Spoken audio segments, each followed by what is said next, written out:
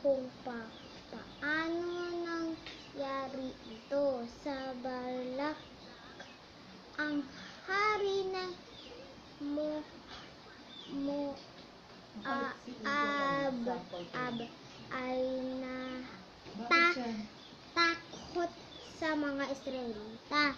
Kaya ipinatawag niya ang isang matalinong lalaki na nagngangalang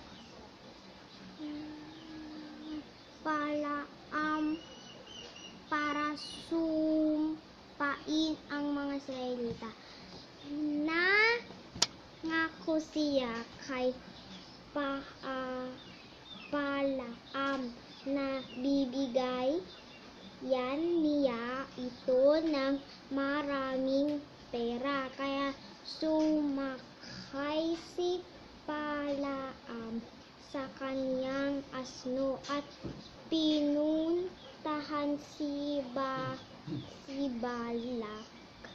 Nagsugo. Nagsugo si Jehova ng isang anghel na may mahabang tapak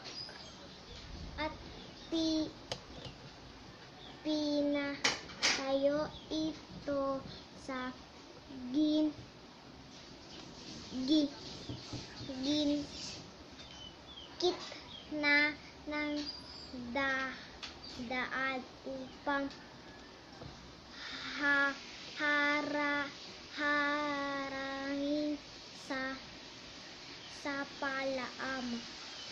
Hindi maki, makita ni Palaam ang anghel pero nakita ito ng kanyang asno. Iniwasan ng asno ang anghel at ng ban, bandang huli ay nahiga na lamang ito sa tabi na ng daan. Galit na galit si Palaam at pinaghahampas ang asno. Kaya pinapagsalita ni Jehova ang asno ni Palaam. Bakit mo ako hinahampas?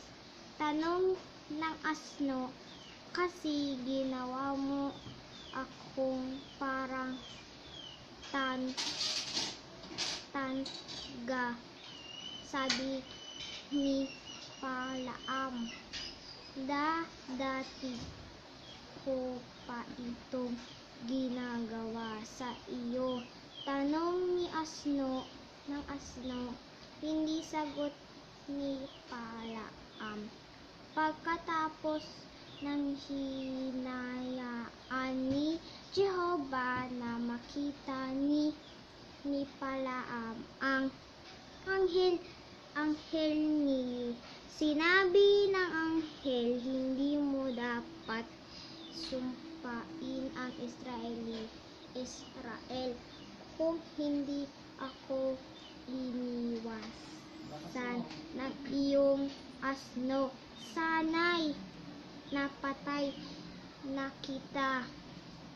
Sa sinabi ng Palaam nang nagkasala ako hindi ko alam na na katayo ka sa gi, gin- na gitna ng daan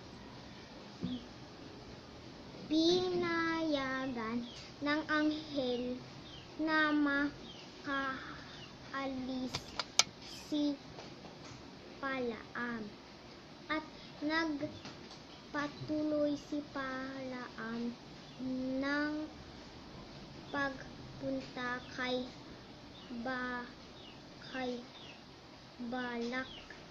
Sinubukan pa rin niyang sumpain ang Isra- Israel pero sa halip ay hinangyari ni Jehovah na pagpalain niya ang Israel ng tatlong beses.